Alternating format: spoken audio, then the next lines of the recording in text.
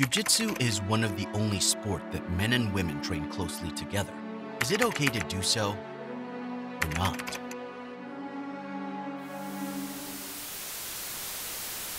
Is it considered, is it common, excuse me? I mean, kind of. I think that most people have at least a little bit of discomfort when they first roll with the opposite sex at first. How often are we this close to the, are we that close to the opposite sex? We're never that close to them, typically, unless it's like an intimate setting. Jiu-Jitsu is unlike any other combat sport, demanding a level of physical contact that blurs the boundaries between training partners. This is where the debate sprouted. Should men train with women in BJJ? Or should women be in BJJ at all? Are they putting themselves at a disadvantage? Or does their presence enrich the sport, diversify the talent pool, and provide opportunities for growth? Uh, what is challenging about being a woman in jiu-jitsu? So I guess some people sometimes think that like being a woman in general like isn't necessarily tough per se. Can't do anything I guess that a man can do. You know, it's like people like myself and some of my teammates who get in here, we can do all those things that they say we can't. It's definitely scary at first, but once you get your feet wet, like you'll never look back. Notable BJJ practitioners like renowned coach Firas Zahabi It's strictly jujitsu, and I never have an impure thought. This group of men here that I hear, you guys are the holiest. You guys are. I look up to you and I say, these men are angelic. That if I if they roll with a beautiful, attractive girl, not the least bit of they're dead inside. Let's say. Now, the first British ADCC world champion, Ffion Davies, I don't like that it has to be separated. Women are most likely to be victims of sexual assault, and going into a sport with a lot of contact could be very uncomfortable for a lot of women, or a lot of people were discouraged from sports like this. Um, whereas now it's a lot better. and five times IBJJF champion Mikey Musumeci, and even the GOAT himself, Gordon Ryan. He says this helps him to fine tune his skills even more as he's rolling with someone smaller than himself.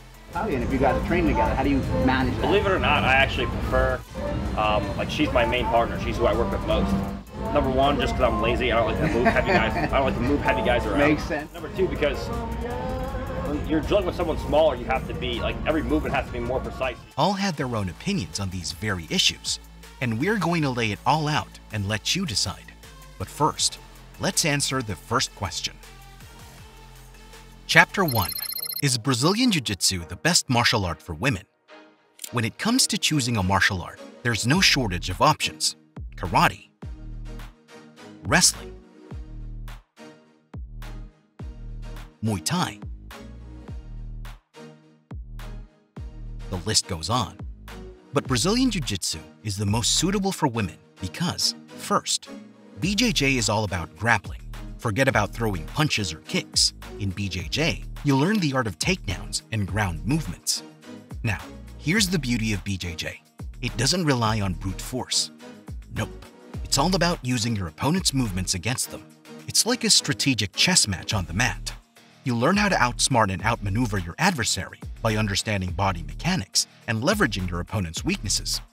But BJJ isn't just about dominating your opponents. It's also about transforming yourself by leveling up your flexibility and mobility. Now, don't get me wrong, BJJ may be the queen of martial arts for women, but everyone has their preferences, as well as their preferences for a training partner.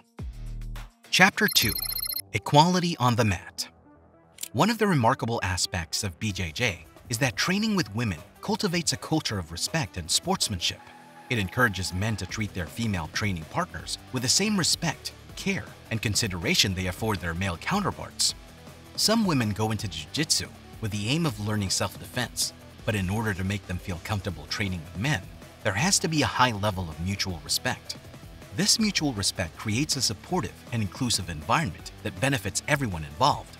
Through the exchange of knowledge, both men and women can grow and improve, fostering a sense of camaraderie that extends beyond the training mat. By encouraging men to train with women in BJJ, we also challenge societal norms and break down gender stereotypes. Traditional stereotypes often perpetuate the notion that physical activities should be segregated along gender lines. However, BJJ defies these antiquated beliefs, promoting the idea that men and women can participate in physical endeavors together without undermining each other's ability or compromising their own development. This is one of the ways one champion, Mikey Musumeci, was able to train with his sister and improve every day. And I had my sister as well, and me and her would just train in the garage with each other like every day. That definitely pushed me to evolve. When men and women train together, they learn that skills and abilities have nothing to do with gender. It's not about being a guy or a girl, it's about being a skilled and dedicated practitioner. Like, I don't understand how you don't see the difference here. It's saying you can only train with the women because we can't resist you if you're in the men's class. Green is like, oh, look at you there in your gi, that sexy gi. Oh, you, you whore. Forget about those silly stereotypes. In BJJ, women can be fierce competitors and talented fighters just like men. And when men see women kicking butt on the mat, it opens their eyes to a whole new world of possibilities. Embracing equality on the mat does not mean ignoring the physical differences between men and women. Rather, it means understanding and appreciating the diverse attributes each individual brings to the training environment. Chapter 3 Precautions on the Mat. Okay, let's start with a common worry some men have with training with women sexual attraction. Yeah. It's gonna happen, things get in the way. But if I grab somebody's boob, I'm gonna say, oh, sorry, didn't mean to do that. You know, you know, don't put uh, a knee in the, you know, groin. I do that all the time. I'm passing the guard. Sorry, man. you know, the less we sexualize jiu-jitsu, the better. BJJ involves close physical contact, which can make some people feel uncomfortable. It's natural to find someone attractive, but during training, it's essential to stay focused on the technique and maintain professionalism. In order not to bite the cherry, some men have decided just not to roll with women. And she's like, You're joking, right? And she got offended. And I'm like, No, I'm not joking. I, am sorry. I, I don't mean to offend you, but I don't roll with women. Some do so because of their religious beliefs. It can also play a role in whether men feel comfortable training with women in BJJ. Some religious traditions have guidelines about physical contact between unrelated individuals of the opposite sex. It can be challenging to reconcile these beliefs with the nature of BJJ, which requires close physical interaction and is okay to accept one's religious beliefs and ways. Another concern men may have is the perception that training with women who are less physically strong or have less experience in BJJ is a waste of time. However, strength isn't the only factor in BJJ success. Technique, strategy, and mental agility are equally important.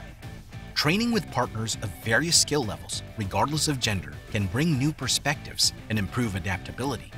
Diversity in training partners can enhance your overall game it's one thing to be proportionate and to focus on technique over strength.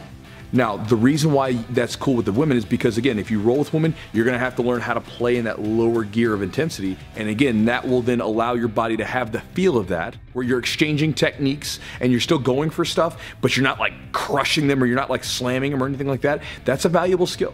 This brings us to a sensitive concern some men face in the fear of being wrongly accused of sexual touching or inappropriate behavior during training.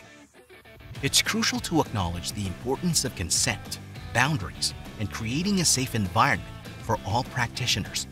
By emphasizing clear communication, mutual respect, and proper training etiquette, we can alleviate these fears. A lot, a lot of people brought up just communication. Feel like your partner's not giving you enough pressure or giving you too much pressure. There's common complaints with with smaller people, not necessarily just women, just uh, if the person is putting too much pressure and not allowing them to move, there's some something to be get, gained, right? But if you can never move, that becomes kind of frustrating too. You never get a chance to learn how to go on the attack. Training academies can implement policies and guidelines that ensure everyone's safety, value, and protection from any form of harassment or misconduct. Remember, embracing equality on the mat doesn't mean ignoring our physical differences. It means understanding and appreciating the unique qualities that each person brings to the training session. Where do you tilt your camp? Are you on the side that rolling together should be normal for men and women to do? Or should it only be by choice? Please share your thoughts in the comments. We would love to hear from you. Thanks for watching. We'll see you on the next one.